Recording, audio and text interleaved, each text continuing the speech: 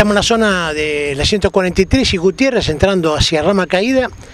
Vemos que hay gran preocupación de hace varios días sobre problemas policíacos, pero la verdad son problemas de seguridad integral de la persona. Contanos qué pasó, porque vos has sufrido varios de ellos. Sí, bueno, yo vivo acá desde hace permanente de hace dos años, ya he sufrido más de cinco robos, este, de los cuales he declarado los últimos tres, que fueron 16 de enero, 17 de febrero y 4 de agosto, donde recibí dos tiros. El problema que tenemos es que, bueno, nos damos cuenta que la policía acá no, no, tiene los medios, o no sabemos si no tiene ganas, o si, si no pueden, pero bueno, esto ya es tierra de nadie y cada vez vamos empeorando, esto va en creciente. Somos varios vecinos los que sufrimos los robos, de los cuales acá hay varios, este, yo incluido entre ellos, obviamente, y, y bueno, la idea es tratar de conseguir que nos den un poco de apoyo, que nos venden un poco más de seguridad.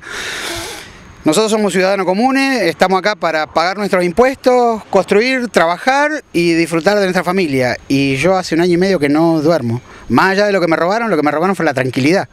Eh, no poder dormir, escuchar un perro, escuchar un tero, escuchar una alarma, escuchar tiro todas las noches. Eh, ya estamos casi en un fargüe. Eh, acá se escuchan disparos continuamente y no sabemos si eso va a terminar en una tragedia o no.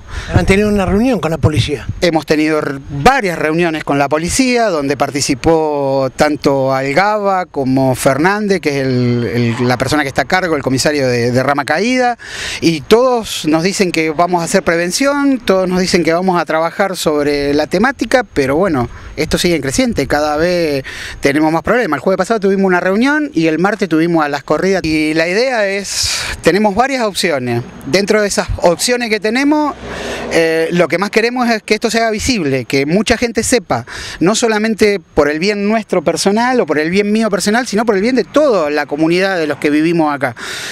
O cortamos la ruta, para llamar la atención, que no me parece que sea lo más justo y lo más lógico, pero es una manera de llamar la atención, o hacemos una pueblada en el kilómetro cero, o vamos a la fiscalía y nos juntamos, pero dentro de eso permitidme pedir que todos los vecinos de, acá, de la Gutiérrez 143, hasta el Arroyo, hasta la Vilina, pasando por el Ejército Los Andes, la Perdigué, eh, nos juntemos, que cada vez seamos más. Lo que necesitamos es que la gente que tiene que hacer algo, que tanto es la policía como la justicia, haga lo que corresponde.